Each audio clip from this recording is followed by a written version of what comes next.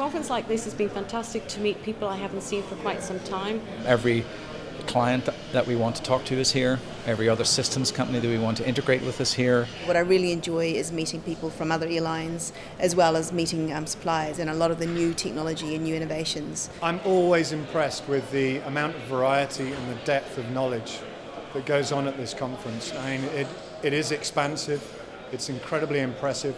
There's a lot of very, very intellectual and knowledgeable individuals. What I love about the conference is seeing people that I'm traditionally working with in a completely different environment. As of tomorrow, your schedule is, is back to back to back to back, and you really don't have time to say, hey, let's stop and talk and think about the future. Because in this industry, the fut- talking about the future is a luxury that most people don't have.